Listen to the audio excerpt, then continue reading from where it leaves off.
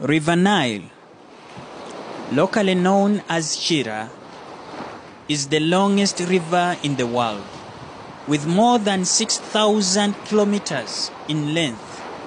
It flows through nine countries before reaching the Mediterranean Sea.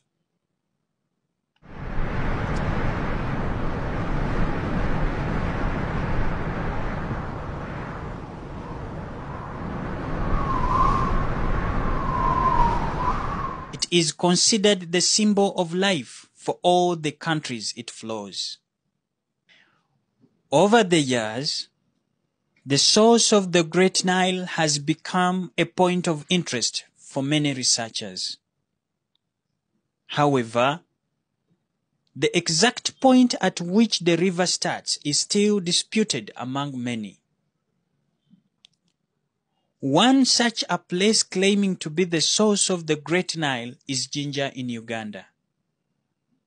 Located roughly 80 kilometers from Kampala, the capital of Uganda, Jinja is best known for its location on Lake Victoria, a place believed to be the source of the Nile.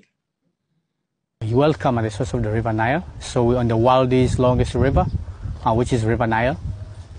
And uh, River, uh, its local name it is called Omuga Chira. And uh, Omuga means a river, and then Chira means waterfalls. So Nile River, it is the only river in Africa which is flowing northwards, uh, just because the north is on a lower altitude. So the Nile divides two kingdoms. Uh, we're having Busoga in the eastern, and we have also uh, Buganda at the central. So the river divides the two kingdoms. Uh, and uh, still it is divided into two parts. We have White Nile and Blue Nile. So far we're on the White Nile. And the Blue Nile is from Ethiopia. Uh, that's from uh, Lake Tana. And uh, both Niles, they do join at Khartoum. And that is the North Sudan. And its mouth, it is in Mediterranean Sea. It is starting from Uganda, and that is on the end of Lake Victoria, because it's an outlet of the Lake Victoria. You know, the lake has got many tributaries, but has only one way out, which is the Nile River. And uh, Lake Victoria, it has many inlets, and among them we have River Kagera, we having uh, Masai Mara, we have uh, Mau. So the many rivers, they all feed the lake, but the lake only flows out in the Nile, and uh, that is the source of the Nile where it is. Even though the exact location of the source of the Nile is disputed, to date, a monument has been erected in Jinja city commemorating the findings of the famous explorer John Speke about the source of the Great Nile. John Speke, uh, I came to Uganda and I was in uh, 1858 and uh, I named the lake Victoria. Uh, before it was called Nalubale. Yeah, but anyway, anyway, when he came, he named it Victoria after the Queen of England. And I was in uh, 18. 58, and also came to see the source of River Nile, uh, which was in uh, 1862. Uh, but then before there was some uh, some black people who were living around by that time, and um, those are the people who helped him to show him where the source of the Nile is, where they were expecting it to be. Yeah, and uh, by that time, uh, the Nile before the Nile was called Kira, and by that time there wasn't more dams on the Nile and the Nile was very very narrow.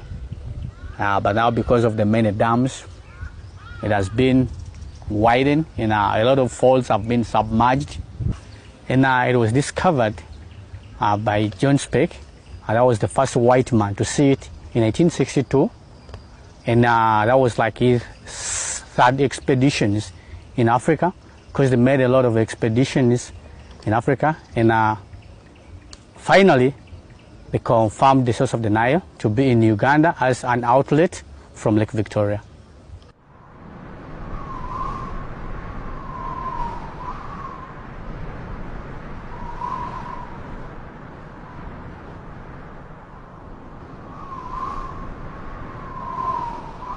Uh, the more people come to visit the source of the River Nile, uh, the country earns foreign exchange.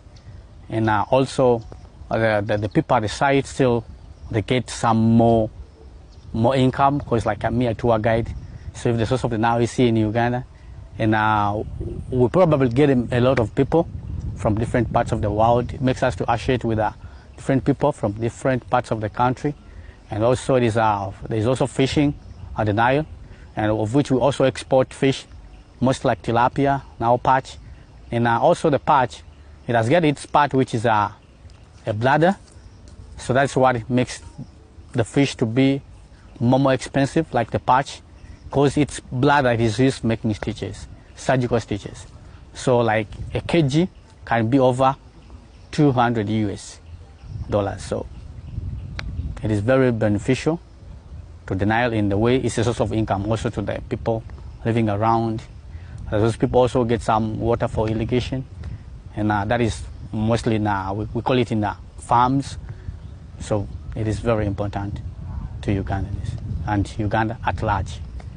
For this reason, Jinja attracts many tourists from far and wide as it offers a range of spectacular sights including Lake Victoria, Sezibwa Falls, and Mabira Forest.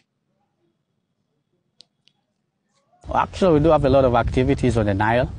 Yeah, first and foremost, we have uh, the boat rides, uh, the source of River Nile, because if you just come on the banks of the river, you won't access the source of the River Nile. So mostly it is access is through the boats. And then we have also other activities like the, the bungee jumping, uh, then we have uh, rafting, uh, then we have um, water slide. There are a lot of water sports down on the Nile. A boat ride into the famous Lake Victoria, locally known as Nalubale, is another adventurous trip not to miss out being a host to different animal and bird species. With Itanda Falls along its trail and the Owen Falls Dam, which generates electricity for Uganda and its neighboring countries. Indeed, a ride along the Nile is another exciting activity not to miss out while in Jinja Town. Interestingly, the name of this river is also mentioned in Hadith as one of the rivers of paradise.